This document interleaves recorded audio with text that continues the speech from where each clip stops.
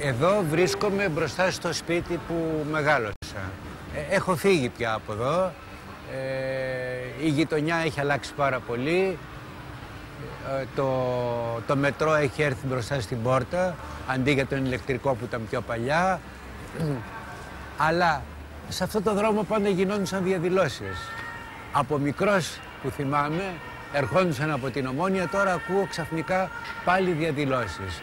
Τι διαδηλώνουν σε αυτή την πόλη, κανείς δεν ξέρει.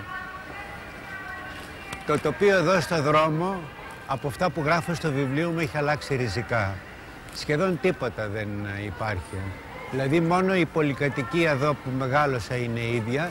Τα σπίτια απέναντι είναι όλα καινούρια. Έχουν παλιώσει πια κι αυτά. Η στρατηγή έμενε κάπου εδώ απέναντι. Ο Σεραφείμ χρησιμοποιούσε ή μάλλον δούλευε στον ηλεκτρικό, όχι στο μετρό, που είναι λίγο παρακάτω η είσοδος. Εδώ είναι άλλος κόσμος τώρα που μπαίνει και βγαίνει. Να, και μια ωραία κυρία με, από την Αφρική. Σε σκουντάνε, δεν πειράζει. Παλιά δεν σε σκουντούσανε. Ακούω τα παιδιά σήμερα που λένε η μαγική δεκαετία του 50, η μαγική δεκαετία του 40. Του 40 κάθε άλλο παραμαγική ήταν. Ε. Με όλες αυτές τις, ε, τις εμφύλιες ε, ιστορίες, με τις κατοχές πριν, με πείνα.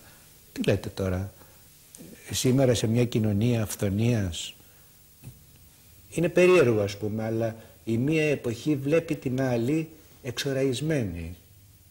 Τη βλέπει εξοραϊσμένη, είναι σίγουρο αυτό το πράγμα. Αυτό δεν σημαίνει, όπως σας είπα, ότι δεν υπήρχε πραγματικά ε, μια... Ε, το γεγονός δηλαδή ότι μπορέσαμε και προχωρήσαμε σαν χώρα και σαν άτομα ε, να γίνουμε κάτι, οφείλεται σε μια ιδεολογία και σε ένα σκοπό.